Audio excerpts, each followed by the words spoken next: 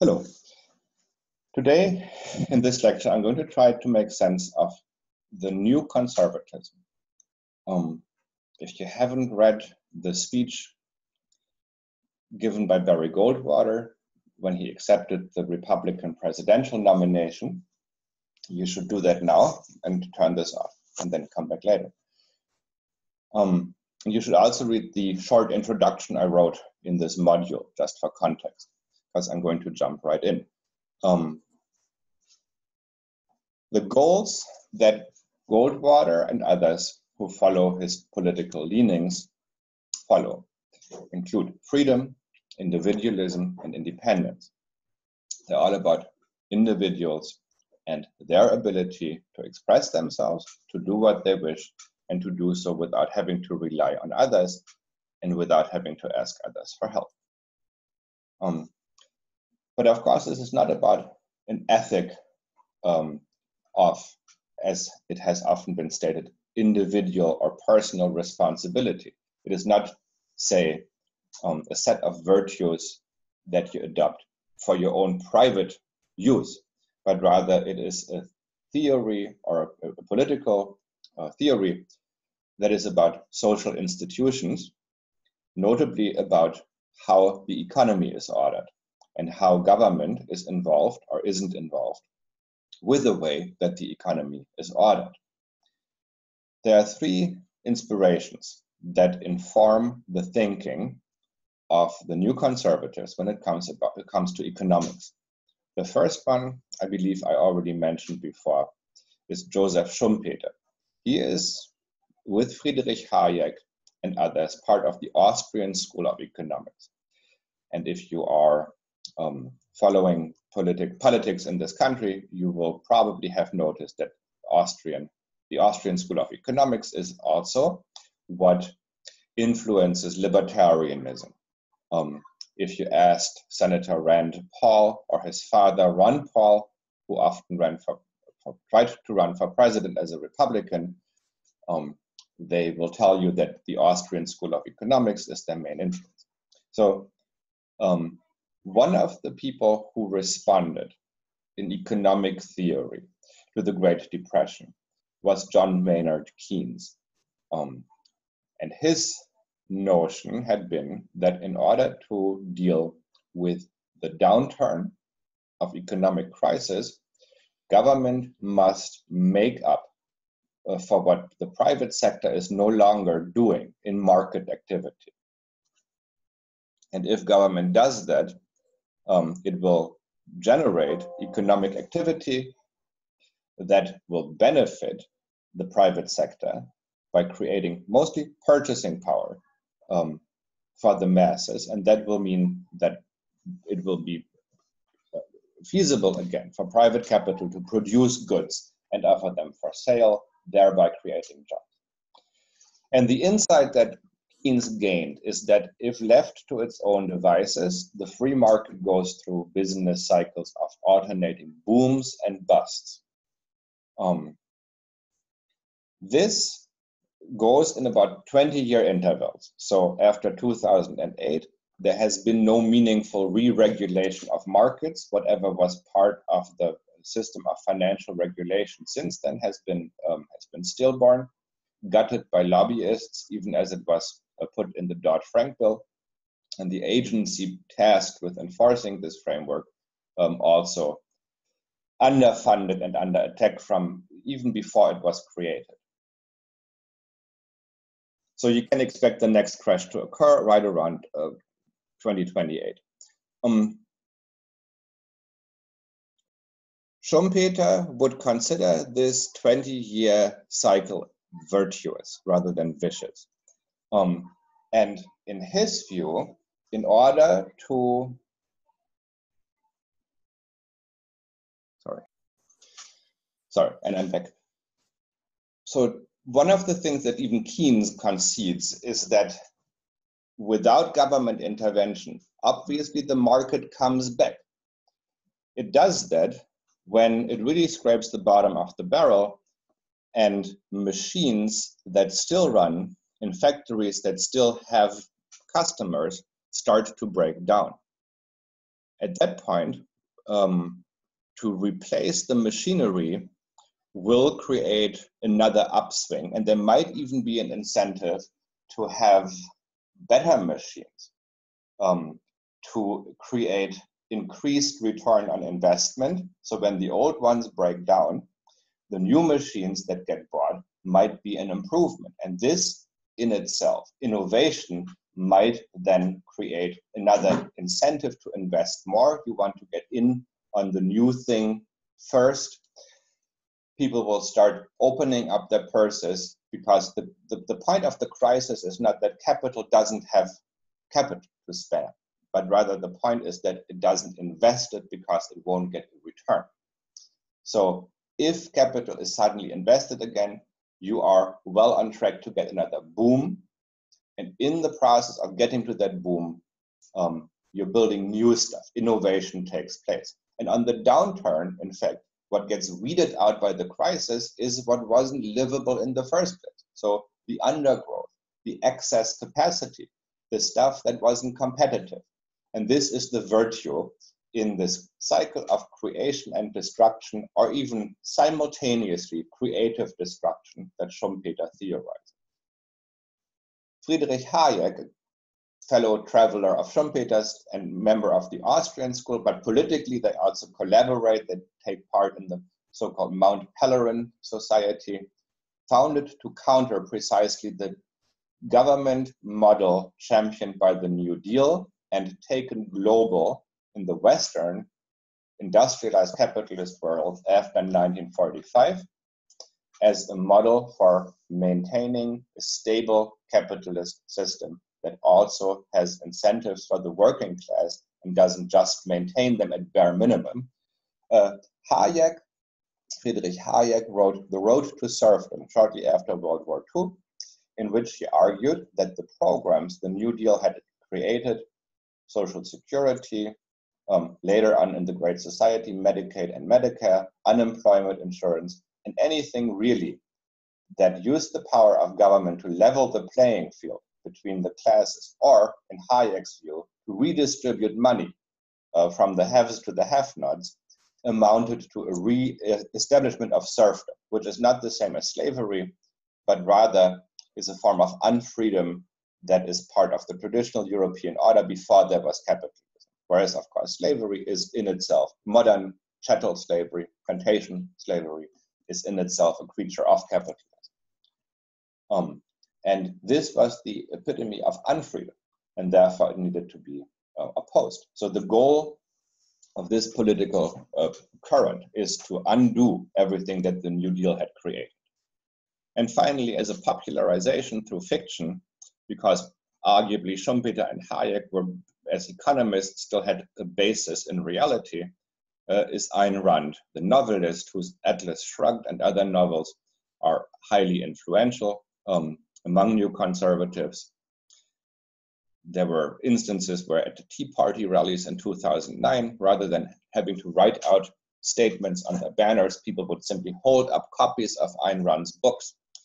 Um, and of course, Paul Ryan, um, Speaker of the House of Representatives, still cites Ayn Rand as the main influence on his political thinking. So for, for Rand, um, to leave the wealthy to their own devices, to let them do with their money and their possessions in factories and facilities and businesses as they please, uh, come hell or high water. And no matter whatever happens to the working class was also a virtue and the title of the book, Atlas Shrugged, suggests as much. Atlas is the Greek mythological figure who holds the world up on his shoulders. So, Atlas in the metaphor is the capitalists, it's the owners of business. They are Atlas, they are holding up the world. Everybody else depends on them for a livelihood. If Atlas shrugged, him being the guy who holds the world up on his shoulders, the world drops down into the abyss, into the void. So, um, if the wealthy decide they've had it with all the taxation, with the socialism that comes from having medical care, unemployment insurance, and so forth, the world will fall into the abyss. And the, the common people, the takers, who don't have the creativity and the drive make stuff, to create new things like entrepreneurs, uh, will be will, will die out of their own stupidity and um, incapability. But it is not just a negative vision um, that is put forth by people like Goldwater and his intellectual uh, influences. Uh, the, the positive ideals put forth include a, a long-standing tradition of, of Republican thinking, the rugged individualism that Herbert Hoover championed after the Great Depression had begun and before he lost the presidency to Franklin Roosevelt as the antidote to the Depression. In other words, Hoover said government mustn't intervene into the market, mustn't spend money to alleviate the suffering of the working class with a 40% unemployment rate, the plummeting wages, but rather um, Americans have to pull themselves up by their own bootstraps, and especially government needs to roll back regulation of businesses, cut corporate taxes, and let business do the job of, of keeping the nation uh, wealthy and employed. That didn't work, but that didn't make much of an impact on the people wedded to this ideal. Competitiveness as, an, as a virtue is another one. Um, of course, as, uh, as the opposite of cooperation.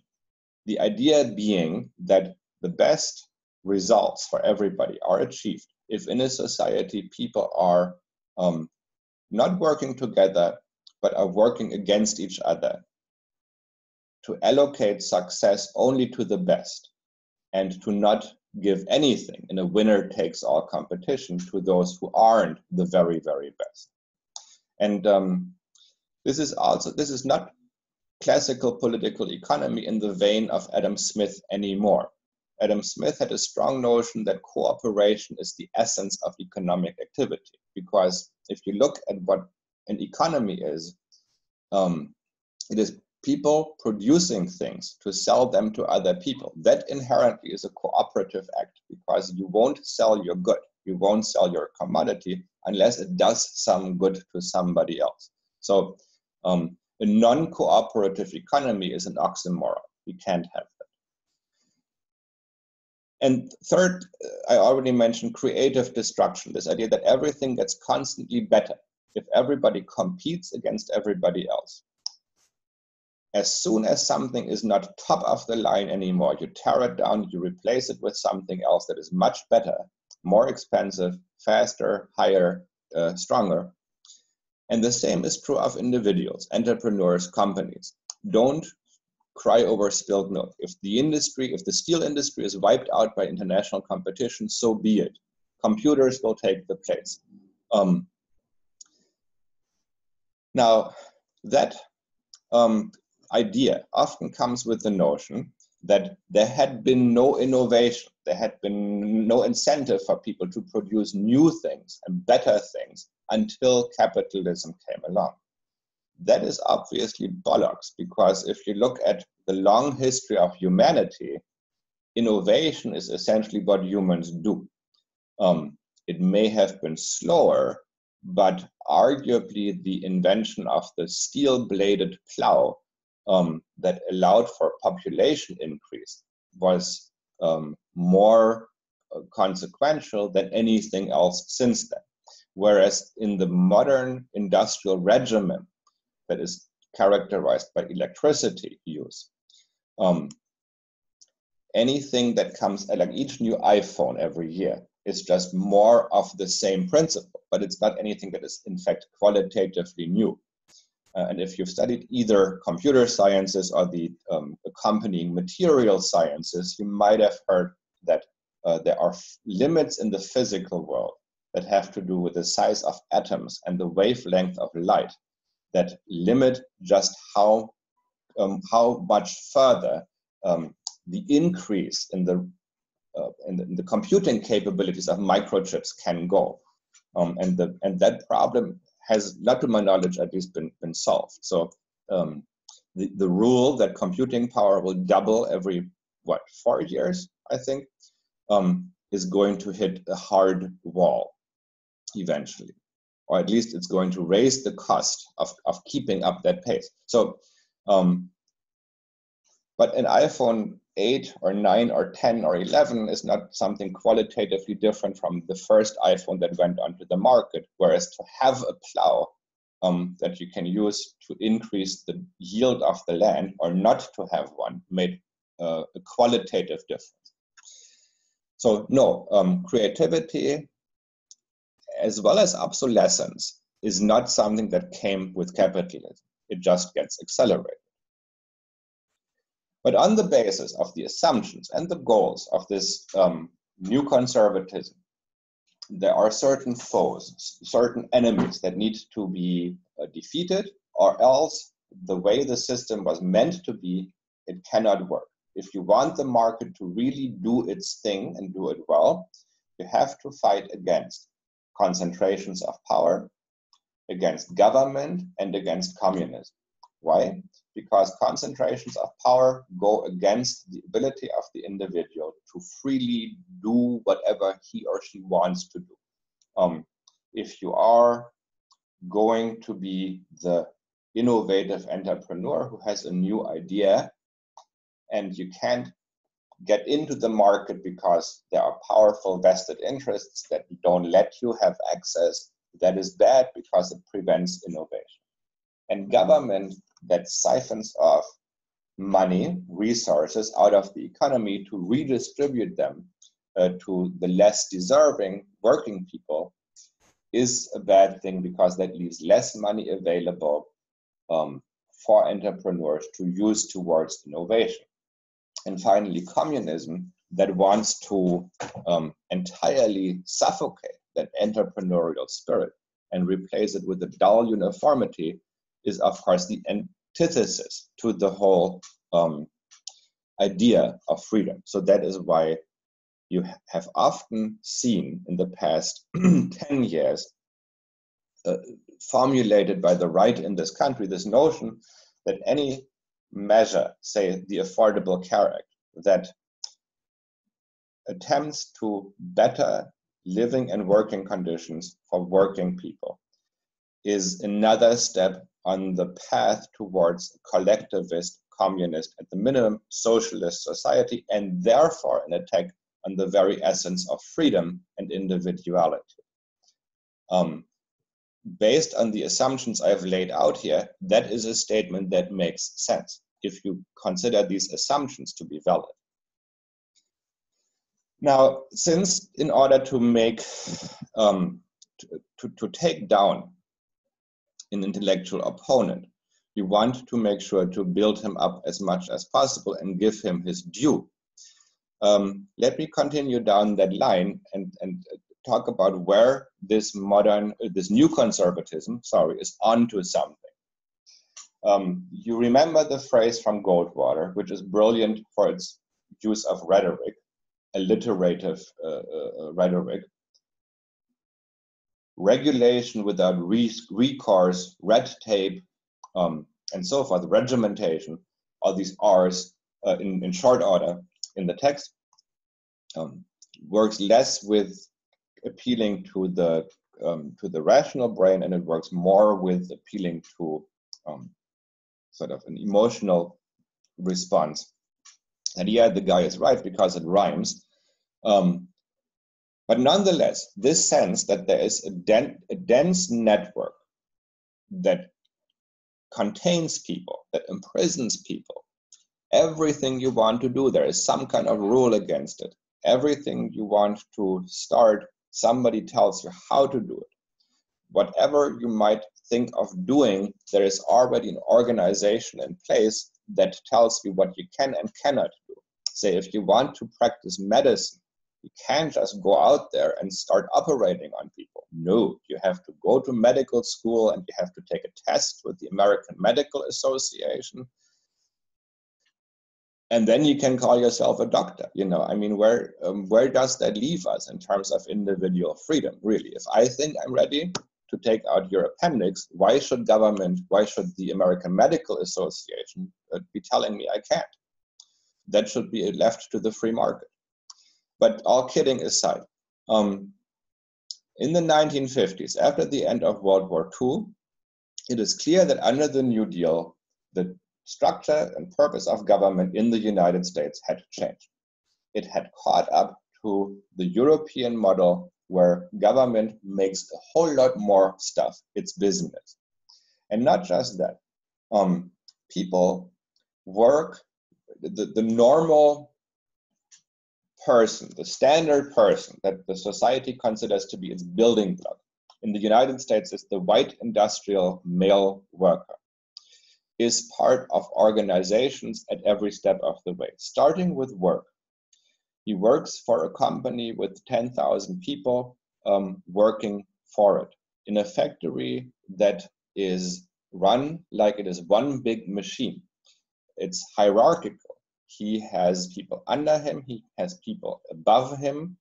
It's almost like an army. The scale and the density of rules, it's essentially modeled um, after the uh, after the army. And that can make people uneasy. Very few people enjoy having no leeway at all, being just a cog in the wheel, being bossed around and ordered around. Um, so this unease is not something that is limited to Goldwater and his brand of conservatism, but rather in the 1950s and 1960s, um, philosophers and cultural critics and subcultural movements also formulate that same kind of unease with the lack of individual freedom to express yourself. Um, you might have heard about hippies in the 1960s, who certainly um, responded to that by, by taking the individual expression um, to new extremes. But even in the 1950s, where you think of American society as um, highly based on conformity and so forth. You had beatniks, uh, poets who were rejecting the, uh, the offer of a comfortable life in the suburb if you only bought into the, um, into the cultural assumptions that everybody shared, who insisted on their individual freedom at the expense of having the comfort that comes with the house with the white picket fence and the big garage and so forth. Now, where do these suburbs, where do these organizations, where do these networks of rules and regulations come from? A new conservative in the vein of Goldwater might point you to the Soviet Union and would say this is where this all started. When the Bolsheviks took over, which is to say the majority of the Russian Social Democratic Party that made the October Revolution and that uh, changed its name to the Communist uh, Party after that, uh, that governed the Soviet Union had established central planning as the way of organizing the economy in Russia. Um, the idea being the purpose of an economy is to, to supply people with the items they need to make a comfortable living and to give them the jobs to contribute productively to the welfare of society. And rather than leave that up to the anarchy of the market, in the words of Karl Marx, you have an agency, a planning agency that, um, that gathers the data. How many people live in our country? What do they like to eat? How many calories do they need? Where are they? So, where do we need to build stores? What do we need to ship there? how much do we need to produce, how many resources do we have across the country, and so forth. And under that regimen of central planning, the Soviet Union embarked in the 1920s on a program of catching up to the West because Russia, before World War I, was a backward country. There were still pockets of, in fact, serfdom, if not in legal, uh, in, not in legal form, and many more people were working in agriculture percentage wise than in western industrialized societies. So to get the soviet union up to speed up to the level of the west required to build industry to just pop up heavy industry all over the country um, and they did that in the 1930s uh, under this model the um, industri- the growth rate of the Soviet economy was in the double digits. At the same time as the economy in the Western capitalist states was shrinking, was, was in free fall. So if all you're interested in is economic growth, go with communism any day. But of course, people would argue, well, but it's also highly repressive. People can't express themselves. If they have a different opinion, they're locked up, they're sent to a camp in Siberia, or they're disappeared. And why? Because it is all about this the central planning that that uh, that stifles individual self-expression. And, it, and where does it start? In the economy. Everything else has the root there. If you're a free agent in the market, you also get freedom of speech, freedom of religion, and all these other things you don't have. Freedom of movement uh, in the Soviet Union. Um, but is that really true? Mm, certainly, a whole lot of what is characteristic of a society derives from the economic base. So um, the, this statement is often held against Marxism as, as economic determinism to say, yes, you can tell what a society is essentially like if you look at the economy note that the new conservatives are making the same argument. Um, but how unique is this bureaucracy, is this highly regulated approach uh, to communism? Where did Lenin, the founder of the Soviet Union, find inspiration for his way of running the Soviet economy? You don't have to look very far um, because it turns out it's an old um, acquaintance of ours named Henry Ford, Lenin had studied the Fordist factories, had looked at the conveyor belt system of industrial assembly, um, at the managerial and um, engineering order. Ford was, of course, himself an engineer, so he knew about the value of engineering. And he, he, he made sure that innovation was built into the system of his factories, that you had engineers um, developing, continuing to develop best practices of how you do everything, like every single hand motion of a worker at each station in the production process was regulated. Um, the supervisor would, would watch over your back, and if you didn't turn that screw just the right way, you were out.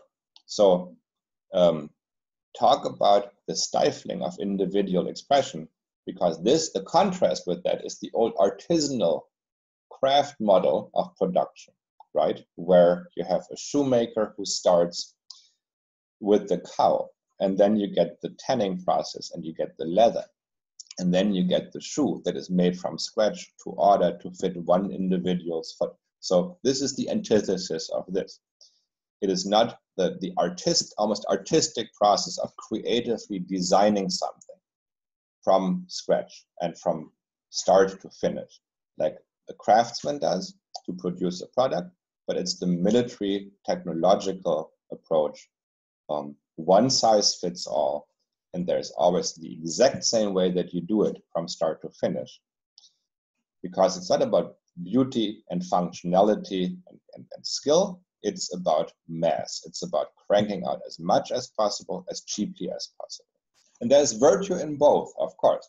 Um, but don't pretend like this is something characteristic of communism. Communism found this um, this highly reg regimented model of industrial production available as the cutting edge of capitalism uh, with Ford. So Lenin made the the manuals the publications that came out of Ford Motor Corporation required reading in the Soviet Union because you learn from the most advanced um, industrial methods that capitalism has developed.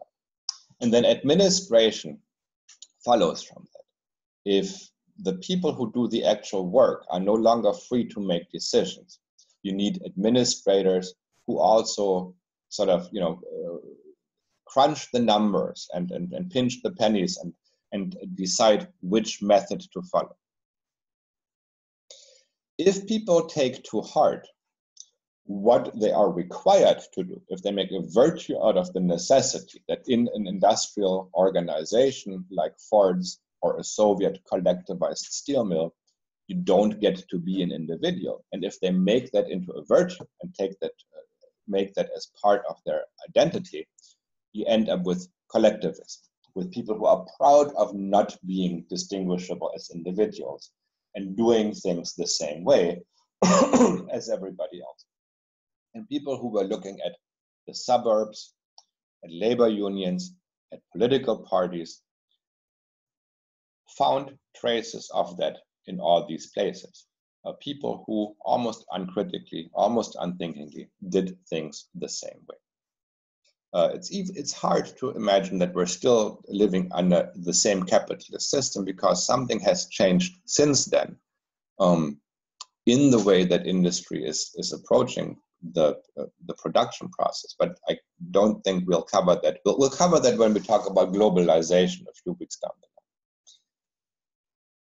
line. Um, some critics, and especially this is true of beatniks, hippies, and so forth, um, don't make this about communism versus capitalism, but rather consider technology itself to be at fault for this march towards collectivism.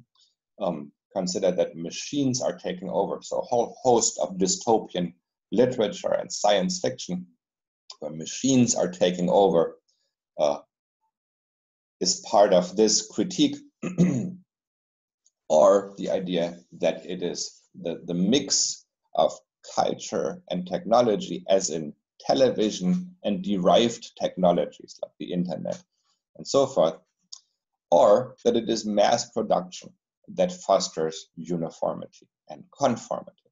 And sure, there is something to that. When you had one major television network and shows to which 95% of owners of TV sets tuned into in the 1950s, clearly everybody had seen the same shows and you had um, a high degree of cultural conformity. Nowadays, if I mention a movie in class, chances are nobody has seen it because the the cultural reference frame of reference is so fragmented now that we all have our own individual choice and there's much too much out there too much good television too much well not good cinema but too much cinema to have seen everything. Uh, a complete knowledge of all culture and there's no defining culture that you must have seen. So it might have been true in the 19th century that you had to have seen certain operas in order to be to really know what culture was about. There is no equivalent today um, funnily enough um, this is now a point of criticism of conservatives who demand that there be a, a uniform defining canon of culture that makes people um, part of the same national culture. Uh, but again, also different story. Um, in the 1960s, in Goldwater's time, the idea was you don't want you don't want that kind of conformity. You don't want everybody to think the same stuff.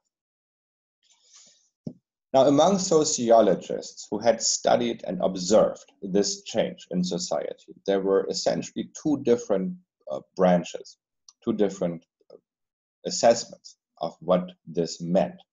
One optimist here is Jacob Riesman, who you might have heard about, who, uh, who wrote a book called The Lonely Crowd and coined in it the term of the outer directed character, as opposed to the inner directed character.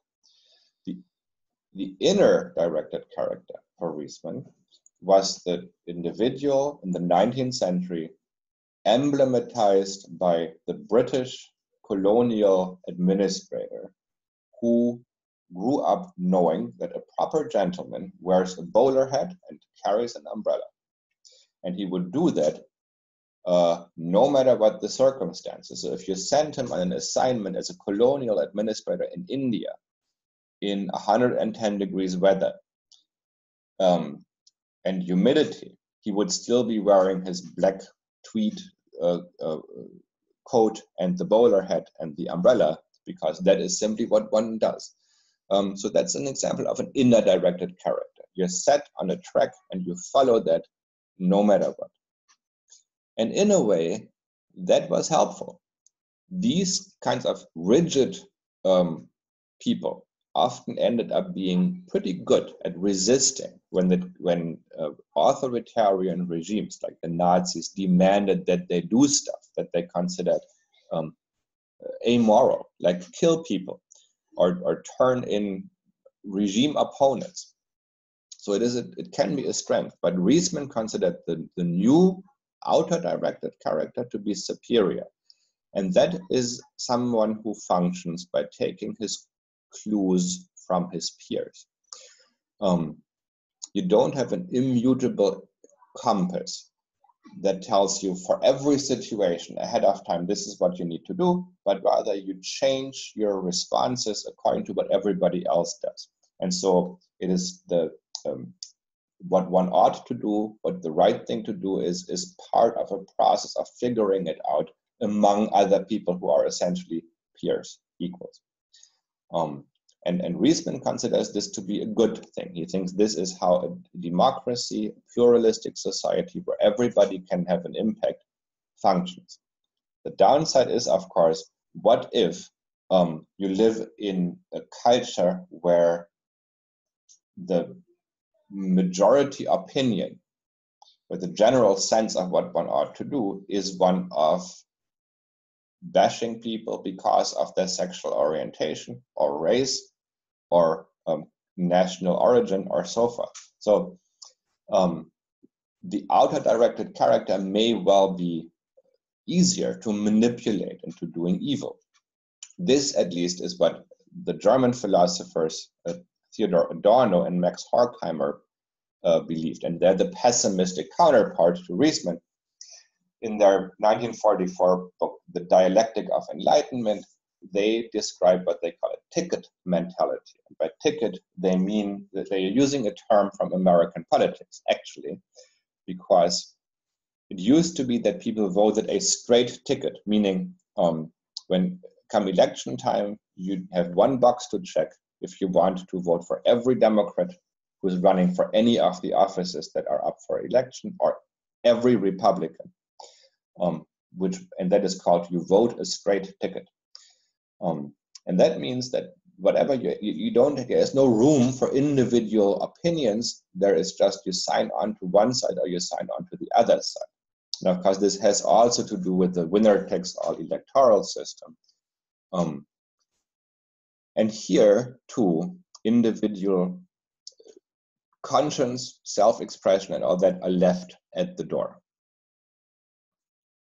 But for Adorno and Horkheimer, this was not about communism, and this was not about technology, and this was not just about individual weakness, but really for them, the root cause was what had happened to capital or capitalism in its rise to power and, and dominance.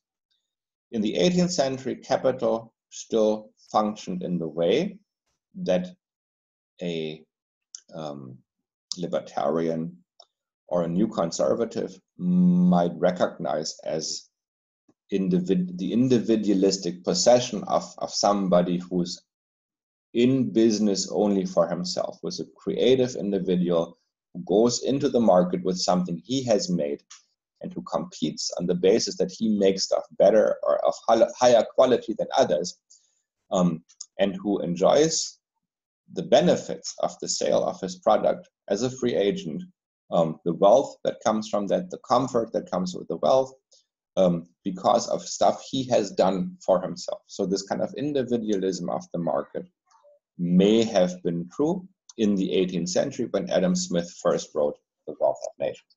But what is it really in the 20th century that capital has become? It has nothing left of that. It is no longer the possession of recognizable individuals, not even Henry Ford, who is the boss of one of the biggest corporations in 1920s America, truly knows who owns his business. He takes, he has to take loans from banks. banks uh, bundle money from all kinds of different sources. Later on, and especially today, um, ownership of hedge funds, which is anonymous, determines who owns what kind of businesses when the hedge funds then buy out the businesses. With joint stock corporations, um, you have no way of knowing who owns any given business. Anything, the face of the business is the management.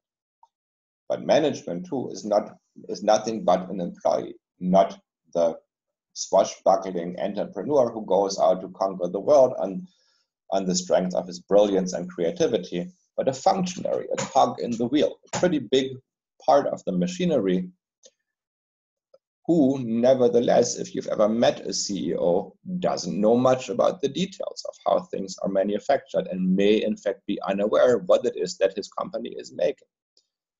Um, so capital becomes this automatic subject. It seems to be acting all on its own. It doesn't require individuals. Certainly doesn't reward individualism uh, in most of the people who act as its agent in whatever function. And this is part of the of the paradox here, um, because it turns out that for capital to accumulate and to have a payoff for its owner, you have to have precisely those kinds of rules and regulations that Goldwater decries. Um, you have to be sure, for instance, that nobody comes and out of the sheer freedom of his individuality takes away your stuff. Um, if you're going to invest a billion dollars into making a plant, building a plant that makes microchips, and that's about the order of magnitude we're talking here today, um, you need to be sure that there is going to be a country left with the legal system, with the workforce, three years down the line when that factory is completed. Um, and that you will still have a market for those microchips. So you need you need all these things that the libertarian and that the new conservative might decry stability, predictability, and so forth. And yet, um, in order to get people to buy products you also want innovation, destruction, obsolescence, and so forth. You want to appeal to people's sense of creativity so that they will go and buy your new iPhone. And you want that new iPhone to break, um, ideally before the next model comes out. So these two sides of the coin um, stand in a ten, tense relationship with each other capitalism in its developed form needs both. It needs to have the stability and bureaucratic, reg- bureaucratic reglementation, and it needs the space for creativity, self expression, and so forth. So, in a way, what the new conservatism and what libertarianism do is to take one side of the coin and make it into an argument against the other, as if you could clearly separate them as if it was either or. It isn't either or, it is both rules and regulation and freedom and creativity. Um, but of course, in the political history of this country, the new conservatism and its rhetoric also serves as a tool to mobilize the political support for the dismantling of the New Deal, to smear, as it were, the institutions that the New Deal created that gave a measure of stability to working class individuals. Say that retire uh, that retirement no longer means poverty and uncertainty for 40% of the population, but that rather you're going to, to retire in the expectation that you'll have a check from the government, even if you didn't make a million dollars every year in your working life. Um, to take something like this, social security, and to paint it in colors that make it look like communism and an evil because it leads to big government, which is clearly a bad thing. And in pursuing this this line of attack on the New Deal um, institutions um, and linking it with a certain vision of racial hierarchy. Uh, the new conservatism mobilized the support of the lower middle class, really the part of the working class that benefited the most from the New Deal and its policies, and that rose up to the level of middle class, and that then vigorously and often using some of the money that government sent their way uh, to support candidates and political campaigns uh, to undermine the basis of their success as a social class. So it is to hand people the saw with which to saw off the branch of the tree on which they're sitting. Um, hopefully, we'll get to discuss this issue some further because this is only the beginning. This is laying the groundwork for the whole post war order. We will revisit with, with Ronald Reagan, of course, as somebody who was influenced by Goldwater in government. We'll talk about the discontent of the collectivism and conformity of industrial Fordist society after World War II when we talk about gay liberation. And we'll talk about the, the end of some of the stable arrangements of this post war order when we talk about globalization and how that, mm, how that led us to a world that is now characterized by pretty much constant uncertainty and a lack of predictability and safety for many, many millions of people because you have wars, you have um, rapid economic change all the time, and you don't have very much left in terms of the, uh, the safety nets previously in place. So that is it for today. Thank you.